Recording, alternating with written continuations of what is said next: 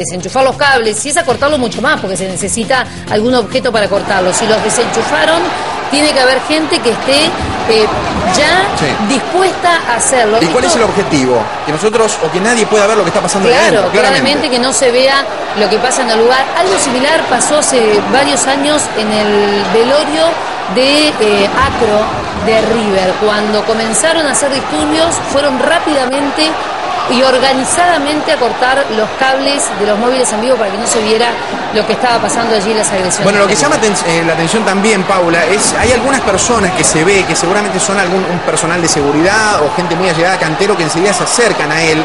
Fíjese cómo van dos o tres personas, uno que se sube al escenario, otro de atrás, para tratar de protegerlo. Pero claro, ese es un personal de seguridad, se- seguramente o gente allegada a Cantero.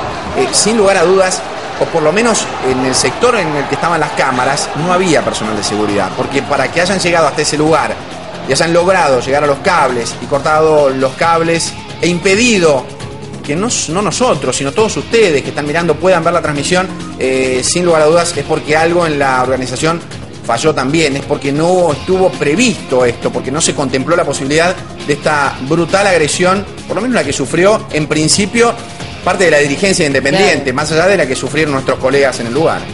Bueno, en un rato vamos a ver si retomamos contacto para conocer qué es lo que está pasando y qué es lo que pasó con todos los equipos periodísticos que estaban eh, llevando, eh, mostrándonos lo que pasaba en el lugar. Obviamente se ha suspendido la asamblea.